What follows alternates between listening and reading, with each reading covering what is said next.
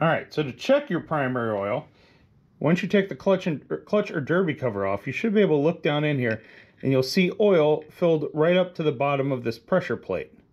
If you kind of dip down there with a screwdriver, you should actually be able to see the oil swish around a little bit. I don't know if you can actually see it in there. Let's lean forward with this camera a little bit. Should be able to see that level hopefully right there at the tip of the screwdriver.